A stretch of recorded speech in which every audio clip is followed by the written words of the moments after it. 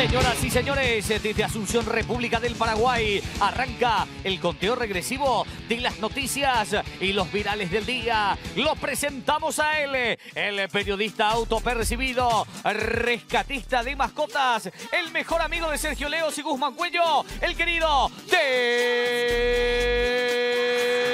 Well.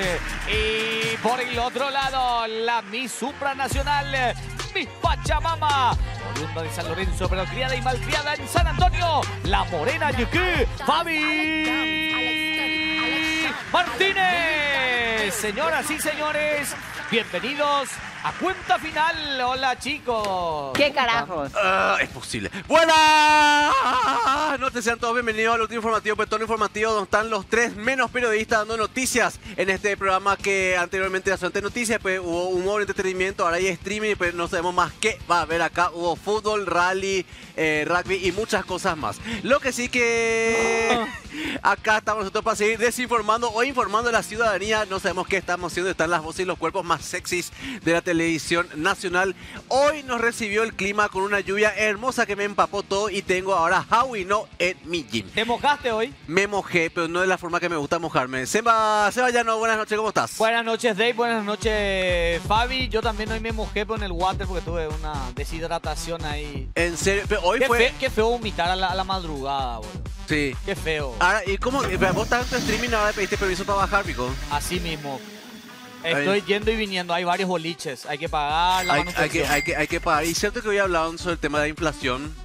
Sí, hoy justamente hablamos de- del Producto Interno Bruto. Domingo fue el encargado. Ajá. Y este Guille Jale tiró todos los datos de Ah, estadística. y atiendan esto, la gente que le quiere seguir a Domingo, nuestro compañero Gara, que es famoso y se junta con Ariel Rojas, su arroba cambió, ahora se llama Sunday. Dicho todo esto, le saludamos a ella. Fabi Martínez, buenas noches, ¿cómo estás? ¿Cómo están ustedes? Buenas noches, Dios mío. ¿Qué es lo que es mi cara hoy, Jesucristo? Hoy ya es jueves. Vos sabés todo lo que me costó mandar la lluvia de hoy en la mañana. Vos no sabés todo así, mi energía usé ahí para que viniera la lluvia, ese descenso leve de temperatura, continúa el fin de semana. Y vos sabés que medio me agotó, como cuando vieron Sabrina la bruja adolescente, cuando hacían sus Sí. hechizos, cuando hacían sus hechizos y después se quedaban pirecue. Pero feliz día del folclore. Cantanos algo, cantanos algo en coro con, con Seba. cuatro cuñas, distinto Pelo pelo, meme, meme, pete y morena y te, iña caragüesa, uyú. ¿Te gusta más la, la guarania o la polca? A mí me gustan los cantantes. No, chicos. O sea, ¿con qué Miriam Bay andaría? No, No, no, el de el otro. Coldplay. Del de Coldplay, me gusta Lenny Kravitz. Tengo ahí mis. ¿Y qué es el folclore? ¿Ustedes saben lo que es el folclore? Sí, obvio. No saben, el folclore se fundó en 1860 por la UNESCO. ¿Y de dónde viene el folclore paraguayo? Del lugar del Alto Paraná. No, decidieron alinear todo nomás ya. Folk significa pueblo, ore, la parte de lore, básicamente sería lo cultural y que arraiga un país. Entonces se hizo una fusión de palabras y luego la Secretaría Nacional de Cultura del Paraguay decidió tomar esto para que podamos seguir impulsando, manteniendo, conservando todo lo que tuviese que ver con nuestra cultura, nuestra habla, nuestro todo eso que nos hace paraguayos. Ay, Dios mío, mi toque no Pea. para, Dios te Sí, no te No, no me curo. Dale. Antes se podía un bocapú ahora. Y el olor a asado. Ah, qué valle, eso es valle. ¿Qué, es- popa, Un bocapú, disparar. Amores que matan. No, bala pa, perdida. Mi abuela siempre en el año nuevo y se decía, entra dentro, Bala la pronto la perdida. bala perdida. pa. Bala Ta, ta, ta, perdida, igual que no va a entrar la bala perdida Bala el... perdida, y así muere la gente. Y cierto Así muere la gente. Pero, ¿qué comieron? ¿Comieron algo por el día del folclore? ¿Algo rico? Sí, ¿Tipo folclórico? Un lemon pie. Un No, yo estoy mal del estómago. ¿ah? ¿Qué esperas para subirte ahora a tu nueva Chevrolet S10 brutalmente confortable? Descubrí toda la potencia y comodidad de- trae esta increíble pickup a un precio imperdible. Encontrá la tuya en nuestros concesionarios o en chevrolet.com.pi. Y en Panal Seguros te damos el respaldo necesario para impulsarte y que siempre caigas bien parado. Porque ante cualquier situación, contamos con la experiencia para ayudarte a superar todo tipo de imprevistos. Elegí Panal Seguros y sentí la verdadera Bueno, señores, ahora sí, vamos a la zona sin filtro. Esto es la zona sin filtro. Sancionaron a empresa proveedora de hambre cero. El Ministerio de Desarrollo Social sancionó con una multa que supera los 400 millones de guaraníes a la firma Granos y Aceites Sociedad Anónima Comercial e Industrial Agropecuaria tras detectar incumplimientos para la provisión de, la alimentación escolar en el marco del programa Hambre Cero. En el ámbito, me parece correctísimo y correcto lo que está pasando con esto, que la gente está denunciando. Eh, contexto, en un colegio de Ipané, eh, eh, hubieron irregularidades, lo cual eh, está afectando a un- una persona que tiene licitación para justamente lo que es el sistema hambre cero, que es brindar comida a los escueleros. Exactamente. Entonces, ¿qué pasa? La gente se quejó. Se quejó que durante dos días esta gente no apareció, lo cual esto implica un incumplimiento de contrato. ¿Por qué hay un incumplimiento de contrato? Se está preguntando usted, señora, señora, que está en su sofá comiendo, tomando, eh, co- eh, comiendo su cena. Porque se le está pagando por día y es una millonada más o menos lo que está cobrando esta, esta licitación. Ellos tienen que alimentar a 10.000 niños por día y ellos están cobrando un aproximado de 85 millones guaraníes por día. Entonces, que un día no les dé de, de comer, ¿ustedes piensan que ellos van a devolver esos 85 millones? No. Tiempo. Entonces, ¿qué pasa? Es lo que yo siempre digo, la gente está haciendo quilombo al fin y está denunciando y la gente no se está callando más la boca y lo cual está bien. Entonces, ¿qué pasa? Che, este colegio, ¿sabes que Dos días no me trajo la comida, ¿cómo no? Auditoría, se van y le- la auditan y encima encontraron después irregularidades, irregularidades en la preparación y en, en lo- en los alimentos. La excusa de esta gente, ¿cuál fue? ¿Sabe que no llegó mi materia prima para hacer la comida? Ese día por eso nomás faltamos. Ah, no, nene, multado con 400 millones de guaraníes, que solamente equivale al 0.2% de lo que sería su contrato que tienen de forma anual con esta gente. Y va a ser correcto. Empiecen a quejarse. Llega en mal estado, quéjense. No se va, quéjense. Hay que romper ese sistema que es justamente lo que dijo el, presidente Santiago Peña. Denuncien para que nosotros podamos hacer auditoría y controlar. Vayan, se les saca la licitación y que venga otro que quiera trabajar. Contigo, Fabi. Así mismo como estabas diciendo y estaba leyendo mientras leías, eh, ampliando un poco la información, porque había sido, no es que solamente no llegó estos dos días eh, la- el alimento para los chicos, sino que también hubo un incumplimiento que se dio por la provisión eh, de alimentos, que es el primer caso, y aparte también por una deficiencia en el servicio. Dice, eh, aparte también se enviaron ciertas notas de requerimiento, pero lo que me llama mucho la atención es por qué no están nutricionistas, personas informadas en cómo se pueden preparar estos alimentos. Estoy harta, estoy saturada de ver que siempre que tienen que enviar alimentos a las escuelas, se tenga que ver el repollo ahí en, en las heladeras. Siempre a ganas les envían a las criaturas ensalada de repollo con dos, tres tomates locos cortaditos en rodajitas tipo hostia. Gente, ustedes no saben que en, en mayor población existen No, personas. cómelo, Fabi. No, porque son, hay personas que aparte que el repollo no es para Tiempo. todos, ¿verdad? Tiene sus, eh, sus nutrientes y sus beneficios, pero eh, para que te puedan dar esos nutrientes y esos beneficios tenés que comer no sé cuánta cantidad de repollo, porque ni lo natural siempre hace que cumplan todos esos factores de requerimiento nutricional de macro y micronutrientes que el cuerpo necesita.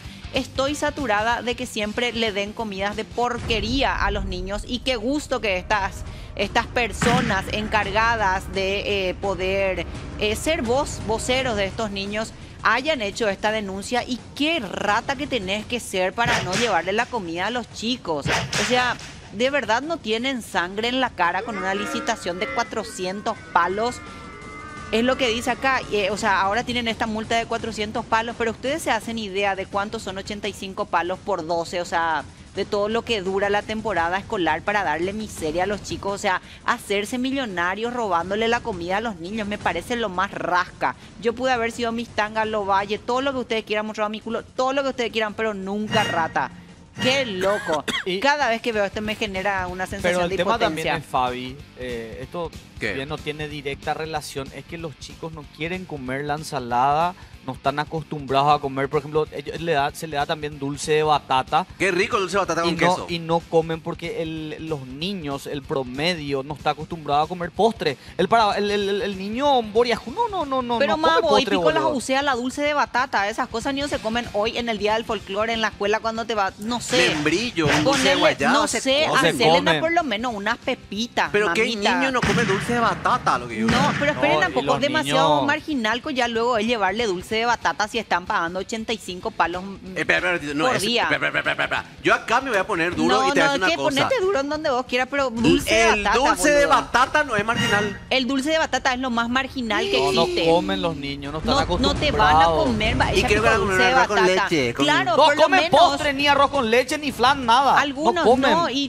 por, por qué no? El guiso y ya está. Apenas minio y o caruji y pico postreata. Y Pero apenas es PTI. Ahí le diste en el ojo. Ahí ese. Claro, Chupitín, apeja, boca, Ah, tas, hopea, eh, o quema. hopea. Decimos eh, pues, no, y pureja, o, eh, houcash, vela, poja. Pero, espera un poco. No, en serio, de verdad demasiado me genera impotencia y ojalá que se sigan playando las personas para que, y qué bueno que el Estado también, eh, así como dijo el Papa, hagan quilombo. Hagan quilombo. Hagan quilombo, gente. Eh, otra cosa que quiero decir. Cara duras son. La ensalada de repollo es re rica. La ensa- a mí me encanta la ensalada de repollo, Te pero ¿sabes? avienta nomás. Eh, ¿Sabes qué pasa? En la ensalada de repollo, en un número mayoritario de personas que tienen hipotiroidismo, no se pueden alimentar, no pueden comer repollo porque les inhibe la absorción, la buena absorción del T3 y T4 y a veces hasta que eso se descubra y en un número, eh, en un de un 100 el 80% de mujeres tiene hipotiroidismo y el hipotiroidismo es una enfermedad que después es una es una enfermedad autoinmune que si no se trata se desarrolla eh, en más temprana o a, la- a lo largo de una edad pero es una enfermedad metabólica y que siempre pero siempre Uno de- le estaban ¿Cuánto poniendo dijiste? eh, del 100%, 80% de las mujeres tienen hipotiroidismo. El número es súper alto, muy y sabes que loco. también hace poco salió un estudio que el el 100% de la población por lo menos una vez cada dos semanas tiene hipo. Tema. En operativo policial se detuvo a cuatro mujeres. El Ministerio Público realizó un allanamiento en la ciudad de Ñemby por el intento de robo agravado a un conductor de plataformas ocurrido el viernes 16 de agosto del 2024. Los agentes de la Policía Nacional detuvieron a cuatro mujeres, tres de ellas sindicadas como las presuntas autoras y una como cómplice. En el ámbito mujeres emprendedoras. Bueno, ¿qué fue lo que pasó? Así como lo adelantaba mi compañero, estas mujeres quisieron asaltar a este conductor venezolano que trabaja en el servicio de transporte Bolt. El Anganá llegó al lugar. Recibió el pedido por parte de una mujer que finalmente, bueno, también lo estaba esperando para asaltarlo. ¿Cómo fue que pasó? ¿Ustedes recuerdan este- estos episodios del conejo en donde equipo, o sea, una mujer se quedaba esperando y después les llamaba equipo y salían todos los travestis con sus salvavidas? Bueno, más o menos así pasó. Llegaron, eh, este conductor llegó hasta el lugar en donde solicitaban el servicio y finalmente eh, una de las mujeres inclusive intentó atacarlo con una tijera y cuando él se percató de esta situación, así su intuición le dijo, hermano, salí de este lugar, empezaron a meterle así tipo, amores que matan, ta, ta, ta, le dieron unos disparos que finalmente no, no dieron en él, gracias a Dios, él pudo contar esta desgracia. Cuando llegó la policía, Tiempo. ¿qué fue lo que pasó cuando llegó la policía? Para extender la información contigo, Dave. Cuando llegó la policía, ¿sabes que yo creo que leí otra noticia? ¿En serio? en el ámbito ataja tu, Emprendimiento. tu emprendimiento. Exactamente, tal cual como decía Ray Martínez, cuatro mujeres asaltaron a un conductor eh, oriundo de Venezuela y cuando la policía llegó y encontró a dos, de las cuales una era menor de edad, una vecina chismosa. Chismosa, esa vecina que tipo vecino en alerta, esa agarró pronto su celular, discó un número y dijo, ¿qué tal fulanita? Pronto no vayas que a volver a tu casa, acá la policía. ¿Podés creer si la agarraron? Esa es la bandida, tu amiga y a la otra también. Sí, no vaya que llegar. Y la policía, "Mo- eh, doña, ¿qué vota? Trae acá su celular. Documento también le pidió y agarraron el celular para ver a quién le llamó y puede dar con el paradero de la criminal desconocida. Le siguen buscando y lo que sí que nuevamente conductores de esta plataforma están eh, a su suerte. ¿Se recuerdan que mucho se habló también de este tema de poner leyes para poder colocar filtros para la seguridad tanto del usuario como del que está eh, del, del chofer, ¿verdad? todavía no se avanzó con esto y seguimos con este tipo de, de dramas, ¿verdad? Lo que sí que las chicas le citan al, al- al muchacho y ahí cuando le citan ya, ya le roban, porque normalmente lo que hacen, Sí. porque esta, esta chica, bueno, le citó y aparecieron dos muchachos armados, ¿verdad? También hay un sistema que hay, una, hay chicas lindas, lindas como Fabi.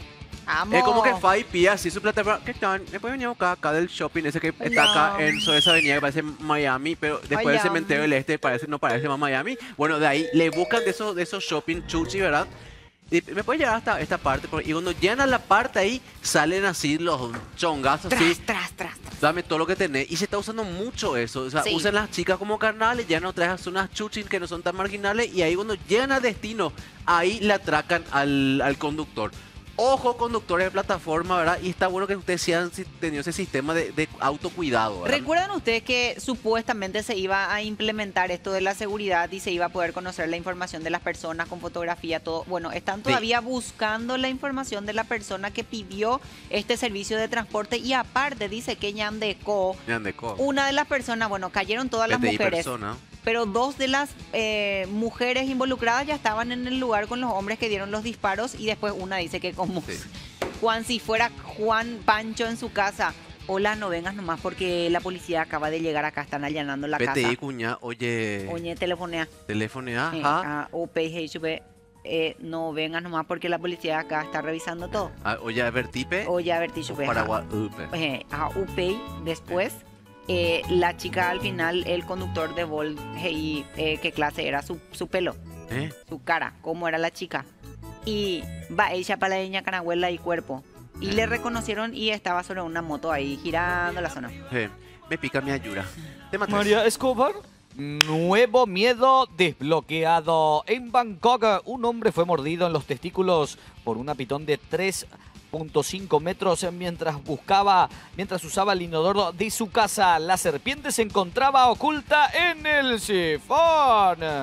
Dios mío. En el ámbito, yo me acuerdo que cuando era chico, en el año 1986 o 87, no me acuerdo bien, vi una película de terror, que una película de terror muy clase Z, donde había, el protagonista se sentaba en el water y estaba la cabeza de un zombie ahí que le muerde su cola.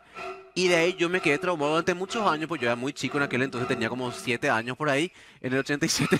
Y, muchos años yo miraba hacia el water antes de sentarme porque se me quedó con ese miedo, ¿verdad? Y mucha gente tiene ese miedo. Después yo cuando viví, migré y viví en Pacaraí, eh, había muchas ranitas.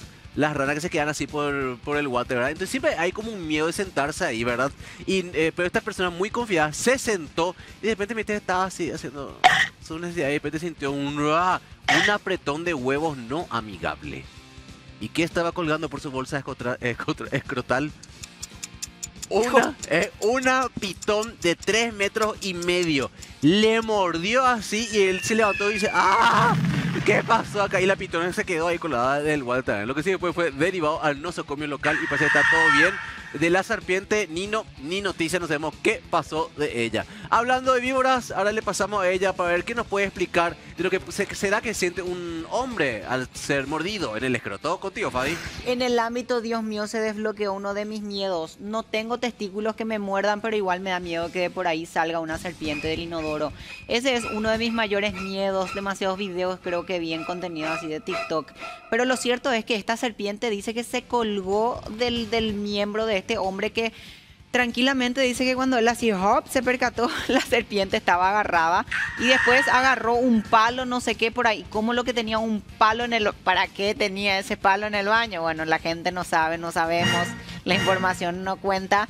Lo cierto es que dice que le empezó a pegar a la serpiente que finalmente terminó muerta pero ni pero ni muerta. Más vale eh, muerta que sencilla dijo la serpiente. Seguía así colgada del miembro del hombre hasta hasta que llegó al hospital eh, dice que él todavía continuaba con, con, con la serpiente en el, en el miembro, por lo que se ve en la foto es totalmente lo contrario, porque la serpiente ya estaba ahí sin, sin estar colgado. Bueno, lo cierto es que yo les estoy hablando de lo que yo vi concretamente, porque al parecer la información es haz lo que, eh, lo que ves y no lo que, no lo que te estoy escribiendo y contando.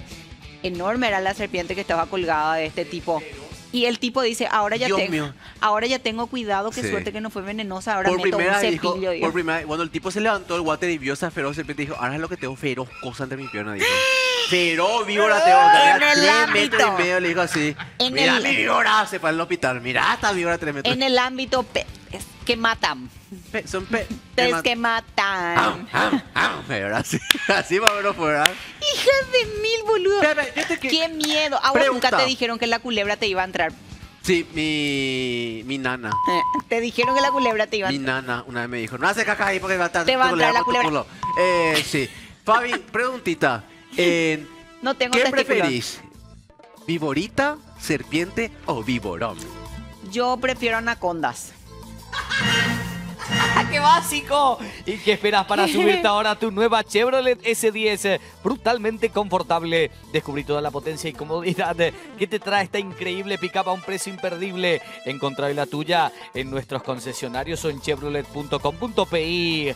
Y con Pasa Hogar por fin vas a poder decir esta es mi casa y hacer todo lo que quieras sin pedir permiso a nadie. Solicita tu préstamo con tasas desde el 7,9% de interés anual y un plazo de hasta 27 años. Contacta al 021 618 7070 con Pasa. Es mi casa. Y descubrir las oportunidades que Pharmacenter tiene para vos. Lunes, día F Call Center, con hasta 50% de descuento llamando al 12 y 12 mil. Los martes, 35% de descuento con tus tarjetas de Baza. Miércoles, 35% de descuento con Continental de jueves a sábado. Día full 50% desde cualquier canal de compra. Y los domingos, Día F Online, hasta 50% de descuento con la app móvil. Y todos los días, 35% de descuento con tarjeta Bueno Pharmacenter. Te cuida, señoras y señores. Esto fue Cuenta Final. Chao.